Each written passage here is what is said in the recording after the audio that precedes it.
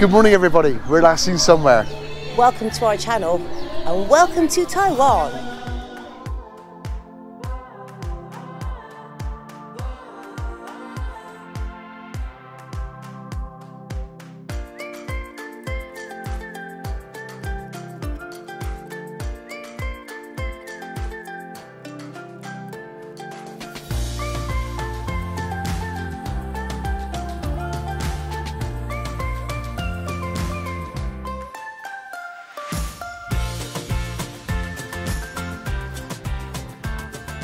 So we're still in Kaohsiung and today we're visiting probably one of the most famous places to come and visit in Kaohsiung, which is Lotus Pond.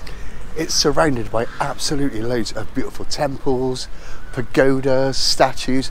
It looks phenomenal. We've been so excited about coming here. It's, it's been one of the places we've Oh, been looking forward to the whole trip. Definitely.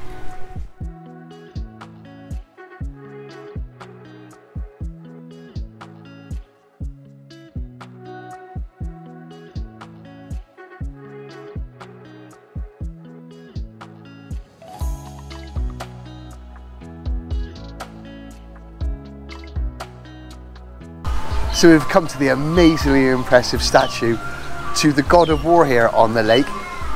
He has got a name and it is so long and complicated to say I'm not even going to attempt it. So by now you'd have seen that I've wrote it on the screen. But it's such a large statue that you can see it from all over the lake.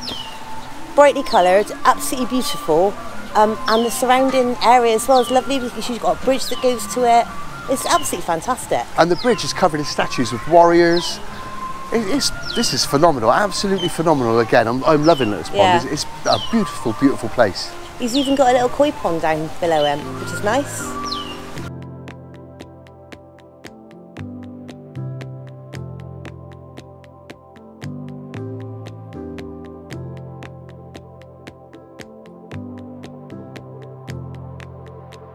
We've seen a few of these machines and some of them are like lucky wish machines, some of them are for lucky charms. So I'm going to get to a lucky charm let's see what we get. Wait, I don't know how to do it. I don't get... Oh, it's going to lay, it's laying an egg.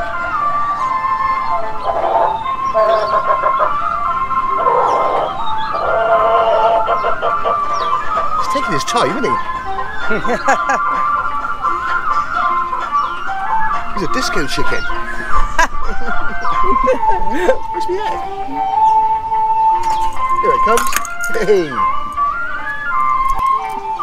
Hey, got it. Yeah. I have no idea. Well, it looks like a little charm bracelet. I think that's a little bit too small for your wrists. Thank you. Oh, that's pretty. Does fit, it's adjustable.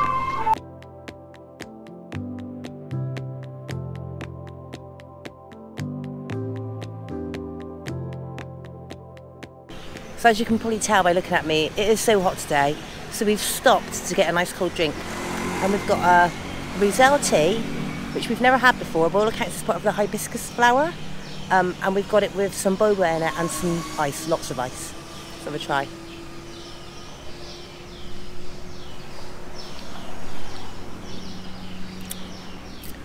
Oh, it's not very sweet. It's very refreshing. I don't know what it tastes like. It's nice, sir. Okay, so it's my turn to try this tea now, this Roselle tea. And I've got to be honest, she never told me before we bought it it was made from hibiscus flowers. So that's a new one on me.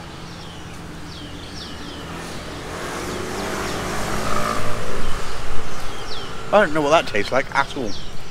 I don't know if I'm a fan of that. It's quite savoury actually. No, sorry. I, uh, Drin, I don't know. Drin said, can I explain what it tastes like? She couldn't work out, but I can't work out what that tastes like.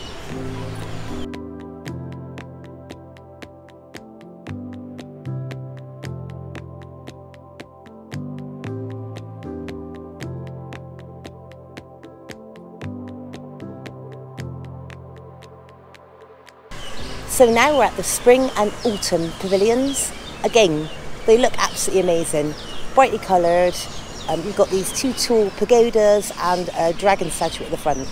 Yeah, the dragon statue is a thing of legend around here. Apparently, the goddess of mercy came down from the clouds riding a dragon and told them to build it, didn't they? That's the legend. Yeah. And um, the statue of the guy on it is called Gaian? Guy, Guy, Guy, Guy, Guyan, yeah, yeah. something like that. But yeah. And the other cool. statue is the, sister, the the goddess of mercy herself. But it's a phenomenal looking place. It Yeah. really is. So you can actually go in through the dragon's mouth. So I'm going to go in now and have a look.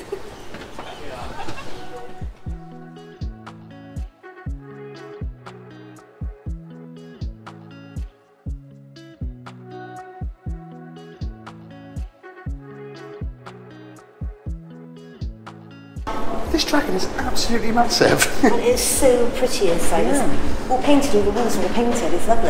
it's absolutely fantastic. I hope it's coming out on camera because it's a bit dark. But yeah, it's really nice, isn't it? Really pretty. And like I said, I can't go over how big it is. It's absolutely huge. And it goes up and down. Yeah. It's like backwards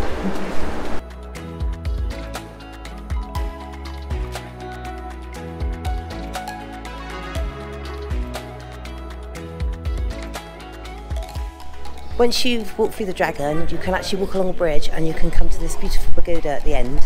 And you can actually go upstairs in it, and it's amazing views of the pond. It really is. It's lovely up here. Nice and cool as well. There's a lovely breeze.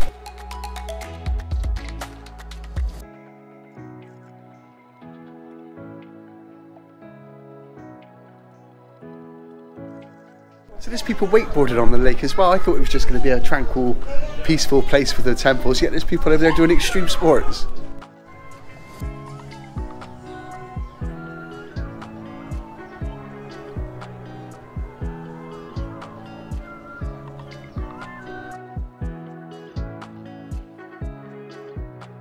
So we're at probably the most famous place here at Lotus Pond, and we're at the Dragon and Tiger Pagodas, and they're under renovation.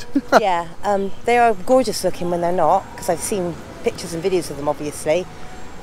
So I think you can still go inside, but obviously you can't do your pictures and your shots of the outside because they're just covered in green stuff and scaffolding, like Matthew said. Yeah, it looks terrible, doesn't it? There's a zigzag path all the way to the entrance because you go in through the dragon. Don't Go you? in for the dragon, don't you, and leave for the tiger for For good, good luck, yeah. And there's a zigzag paths because evil spirits can't follow you then because apparently they can only walk in one In straight, line. lines, yeah. So hopefully, if we go in through the dragon for good luck and come out for the tiger, all the scaffolding might be gone. Well, yeah, let's see.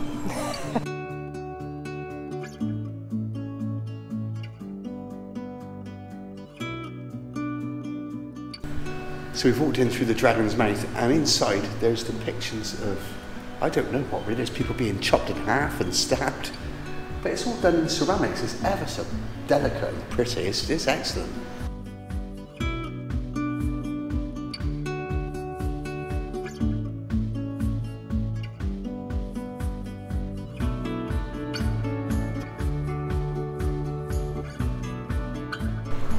Well, that didn't work. The scaffolding was still there when we came out. It was lovely inside there, wasn't it? Yeah, it was beautiful. The, the carvings seem so intricate, so delicate. Really nice.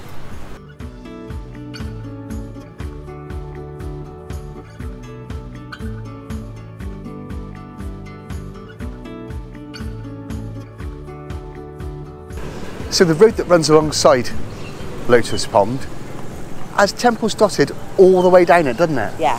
I'm trying to find information out on them. It's really difficult. We've because it's got road names and road signs, and they haven't, so we can't work out which temple's which. Yeah, I think there's meant to be over 20 temples around the area. Um, some of them are obviously quite famous, so we know about those. But some of them we're coming across and we, we haven't got a clue what they are, and it's all in Chinese, so we- some of them we don't know anything about.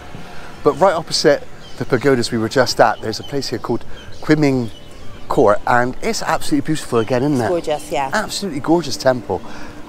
Everywhere in time when we've been and looked at temples, we've been blown away, haven't we? Yeah. They're so detailed and intricate. It's a beautiful, beautiful temples. I love the colours, and this one behind us, which Matthew said, Kiming Court, um, is again a massive temple. I think it's set over four floors. It's even got a library inside, so amazing.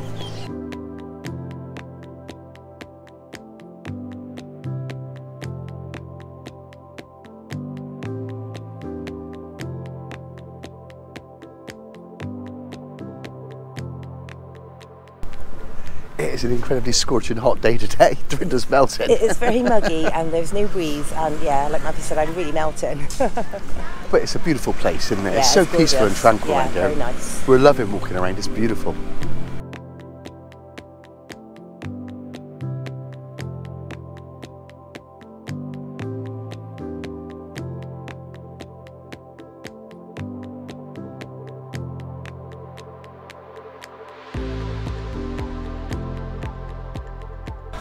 We're now our, our last temple here on Lotus Pond, and this one is Confucius Temple.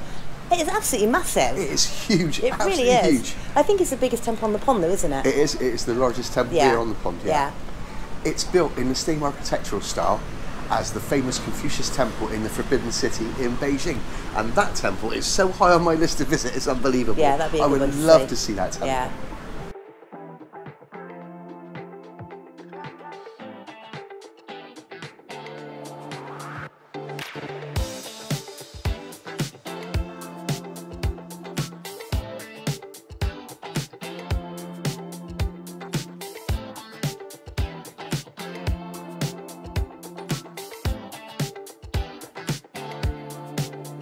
It's after an absolutely fantastic day walking around Lotus Pond. We thought we'd end the day by coming down here to Love River in Kaohsiung. We'd heard it was lovely and it really isn't disappointing at all. So it really is so pretty down here. The boats are floating past and they're all lit up. The bridges and all down the side of the river are all lit up and it's all flashing different colours. We found a bar, mm-hmm. so we're having a beer. Just sat here on the river, chilling. It's amazing. It's lovely.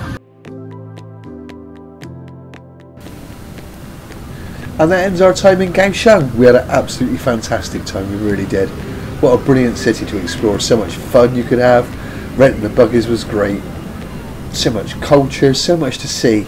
Absolutely brilliant city that's often not mentioned as much as other places in Taiwan. We'll see you somewhere. Thank you for watching. And don't forget to give us a like and subscribe.